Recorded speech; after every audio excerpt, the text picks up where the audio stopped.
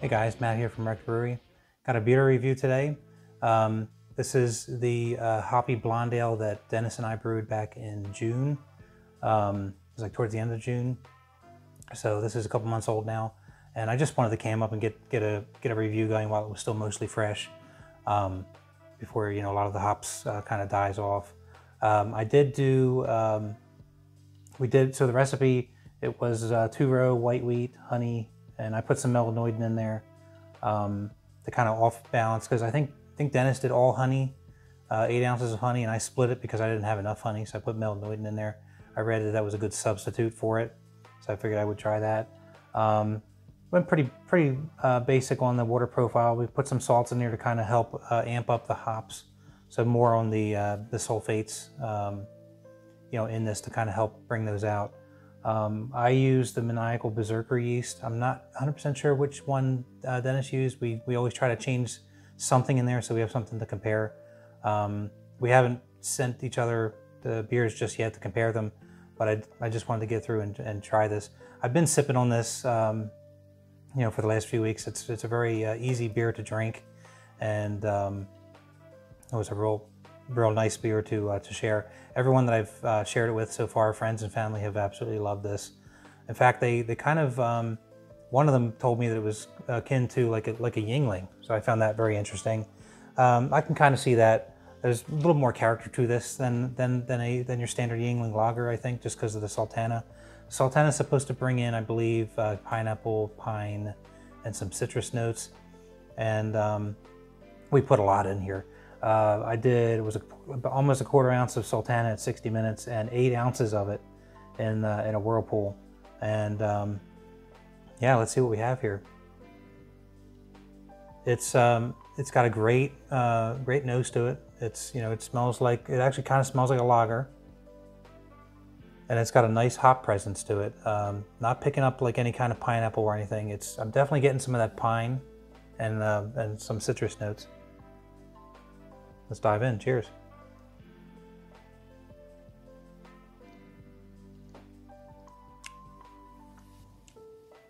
Yeah, it's a very tasty beer. Um, you know, it's not it's not bitter at all. Um, matter of fact, it might be um, might taste a bit on the sweeter side.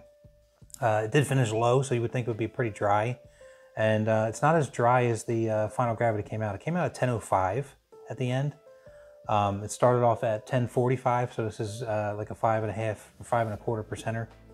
Um, but it's not, I mean, there's, there's probably a little bit of dryness to it, but it's not as dry as that's leading on.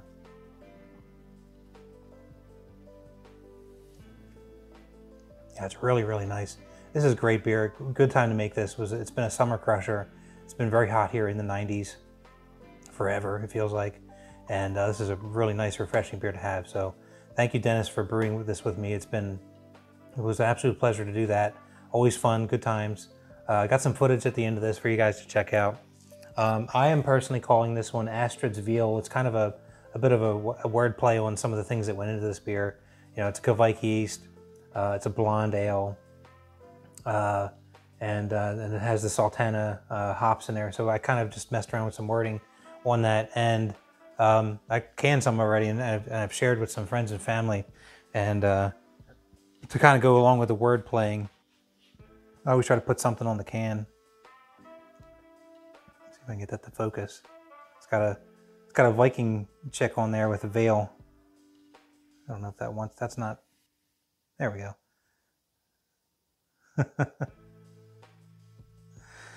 yeah, just uh, having a little too much fun, I guess. And then there you go collaboration with Woodshed Brewing.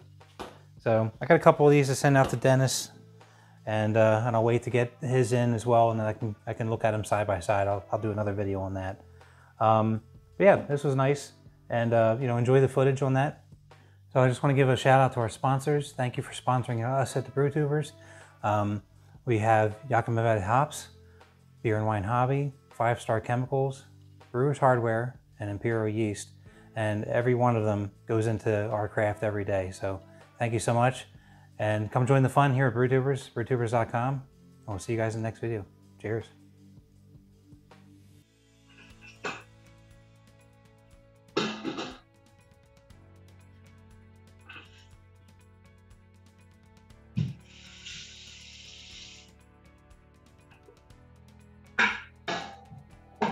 All right, I'm gonna get ready to mash in. I'm doing the same. I'm ready too. I just heard the uh, the elements kick off. Perfect. We're in good timing today. Yeah. All right, another brew day. Making a blonde ale. Using up some more of our hops. Mashed in there.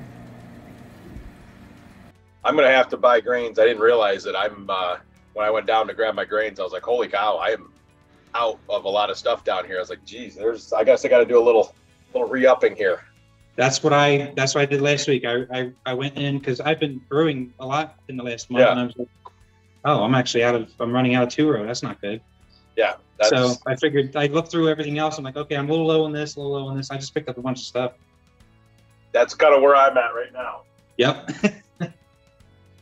I was like, that's not good. I'm gonna I'm gonna be getting on Zoom with uh, Dennis go, oh well, I'm gonna be brewing something else today because I don't have the two row. but yeah, we're we're all good now. The only the only adjustment I did make to the recipe, and I talked to you about this before, um, I didn't have, and I don't have a need for it anytime soon, so I didn't buy any more. Um, I didn't have the full eight ounces of honey malt. Oh, So Yeah. I put in, so I, I put in, I put in four ounces of honey malt. That's what I had left, okay. and I put the other four ounces in of melanoidin. I heard that Oh. it's similar. Okay. It's a good substitute for honey malt. I've been, I've been reading, so we'll try it. Figure it out. Just got done measuring out the hops. We're using the uh, Sultana hops from Hopsteiner that we got uh, a couple years ago in one of our experiments. There you go. Look at that. Eight ounces fits perfectly in a mason jar.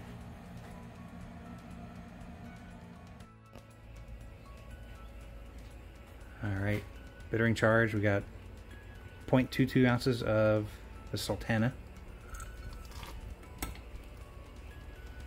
The boil started now. Go ahead and start this timer. I was just fooling around with it, so that's why the numbers are off here. Oops. There we go, 60 minutes on the clock.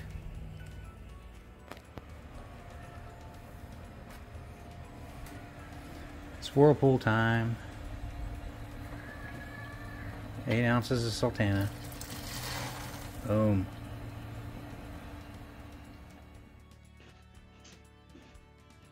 Always something. and that's the truth. Kids are getting rowdy in there. Yep. I think they're they're getting hungry. I already ordered the pizza, so. But I just uh, I just put in the whirlpool hops. It's doing its thing now. 15 minutes. nice. Maintaining that 165 temperature.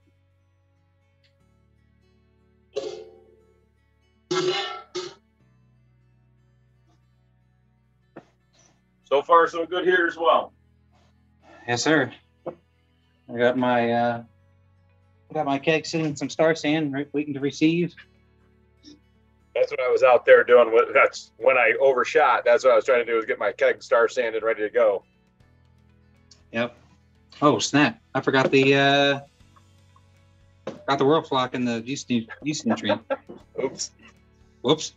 Yeah. What are you gonna do, right? Probably a little late to put it in now. Okay, got 1046. So a couple points below what I was aiming for, but that's fine. Just filling up the keg now.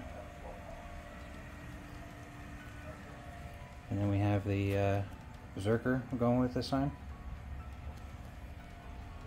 And we got this dialed in at 10 psi.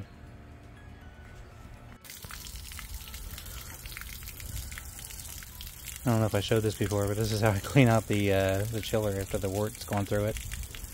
Give it a good rinse from the garden hose. Just got a little adapter there that I use to adapt to the half inch NPT. Works well. My wife just called me for dinner, so I gotta head out. So Yeah, we're I'm done here too. I'm just I'm just uh, rinsing out the kettle one more time, and I'm good to go too. So perfect. yeah, All right, dinner's well, let's- dinner just got here myself a few minutes Oh. ago. So Good timing. Pizza night, Yeah. right? that's right. Well, it's been a pleasure. with the uh, with the app and see how things go, and th- see how things take off. All right. All right. All right, sir. Have a great I look- evening. Thanks for putting too. For, uh, get up early for me today. Yes, sir. Thank you. It's been a lot of fun. Keep me up to date. I'd like to know how yours is going too. Absolutely. All right, man. Have a good night. You too. Take care.